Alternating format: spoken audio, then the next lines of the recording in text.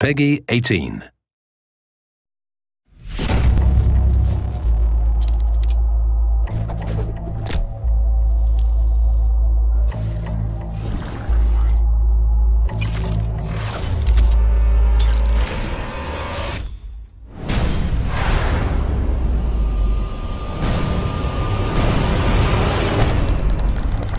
Any time now. Fight!